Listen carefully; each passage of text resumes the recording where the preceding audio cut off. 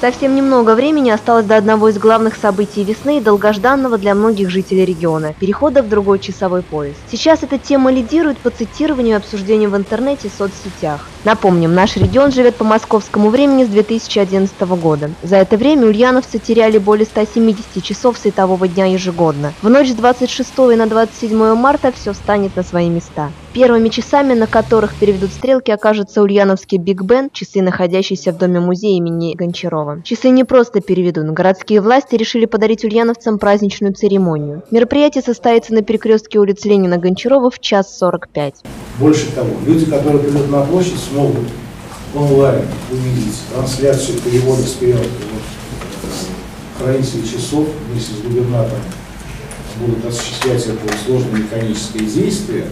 На площади будет установлен большой а, экран, на котором все это будет транслироваться. А, до того момента, когда начнется перевод стрелок, мы покажем, хотим показать людям, что такое вообще время, насколько оно связано с Симбирском, насколько Симбирск э, соответствует времени, в котором он живет.